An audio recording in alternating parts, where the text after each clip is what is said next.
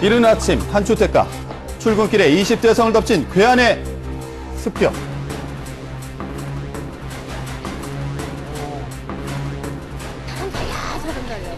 살려주세요, 살려주세요. 그렇게 아글아글 쓰더라고요.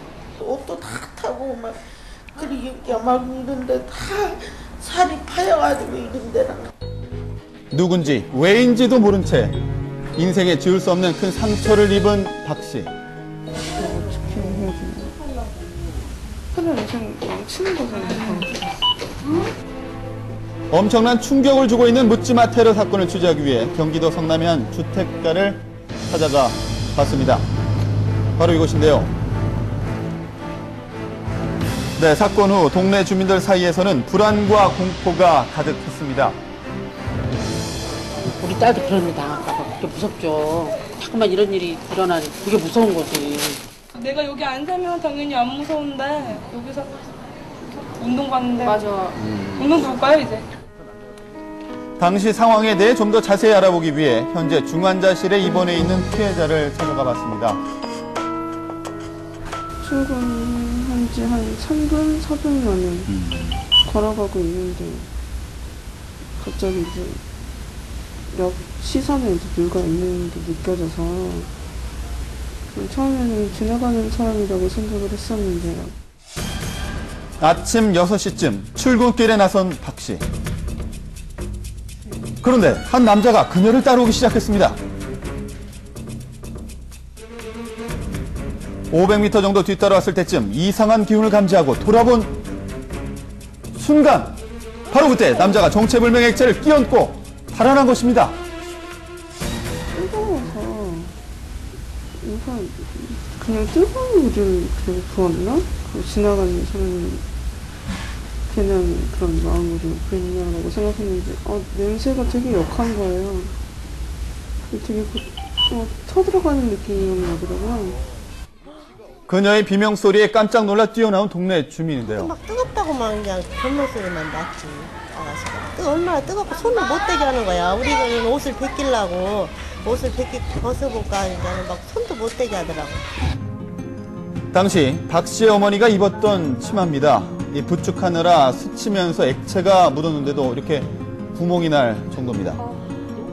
이 또한 녹아버린 소지품들을 통해 그 액체가 얼마나 치명적인 물질인지 느낄 수가 있었는데요. 왜 이런 짓을 딸 할까요? 몸에 아, 닿았을 때 그 사람 피부는 더 약한데 다 녹았을 거니까 나는 그 상처를 아직 보지도 못했어요. 이 붕대로 쌓였기 때문에.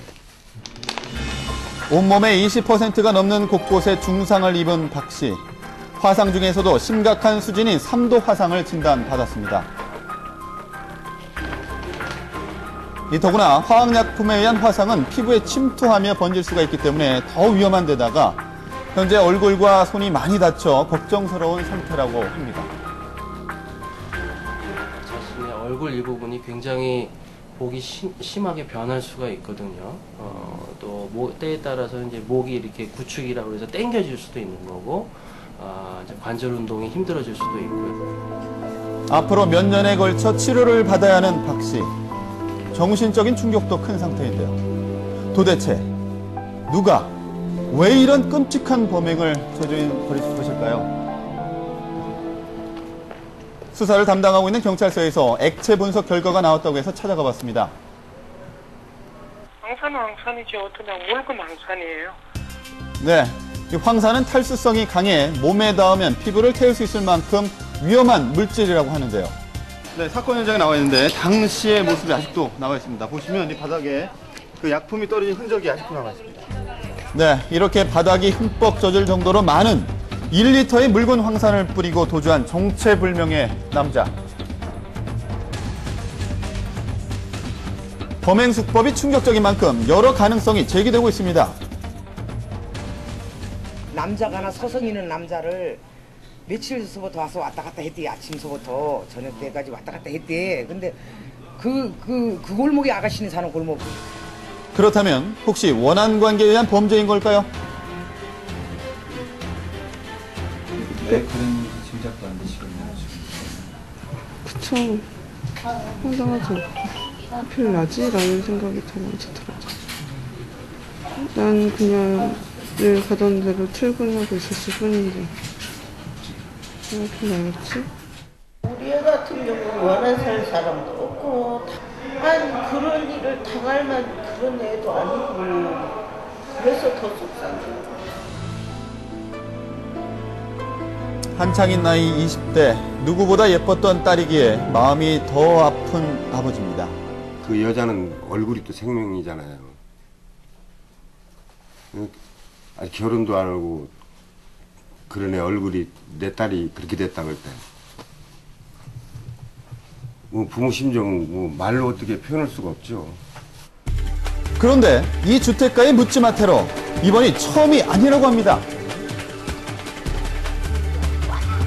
페인트를 뒤에서 자꾸 뿌려서 묻어서 왔다라고 해가지고 내가 빼준 사람이 한 세 사람 돼요. 페인트를 뿌리고 도주하는 사건이 올해 세 차례 정도 있었던 것인데요. 발전해가지고 예를 들어서 또 그런 식구진 약, 약 가지고 여자들한테 뿌리지 않나 그런 생각이 들어요. 그래서 페인트 테러를 당했다는 피해자의 어머니를 만나봤습니다. 아침에 뭐 7시 반에서 8시 사이에 이제 출근하잖아요. 그러면은 그 뒤에서 이제 당하는 거야, 이제. 뿌리고 도망가니까. 아침 출근길 한 남자가 20대 여성에게 페인트를 뿌려 피해를 입힌 곳인데요. 그때 당시 피해자가 입었던 옷에서 페인트 테러의 흔적을 확인할 수가 있었습니다.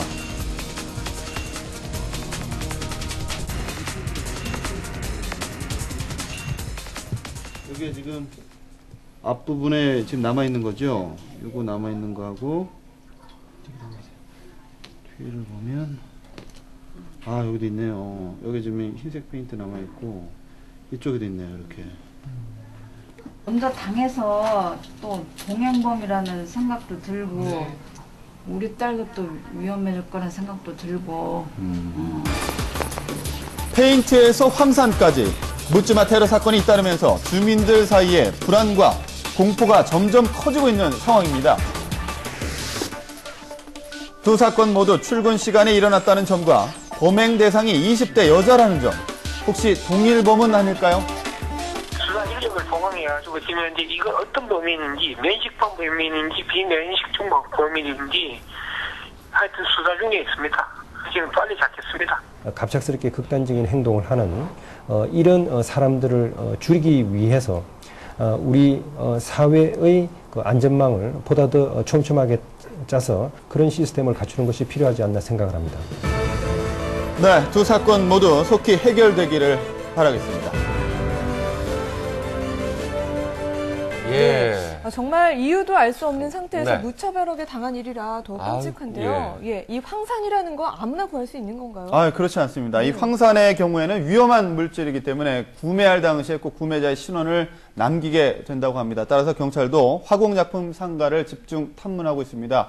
아, 수사가 좀 빠르게 진행될 것 같은데 오늘입니다. 아, 이 신원 미상의 남자의 몽따주가 완성될 예정이라고 하니까 아, 수사가 더 빨리 진행되길 바라겠고 앞으로 다시는 이런 사건 일어나지 않기를 바라겠습니다. 네, 범인이 빨리 잡혀야 됩니다. 이런 불특정 다수를 대상으로 한 묻지마 범죄의 경우에 이 모방 범죄가 또 발생하기 쉽거든요. 그러니까 그런 일이 일어나지 않도록 빨리 예, 잡아야 되겠습니다. 예.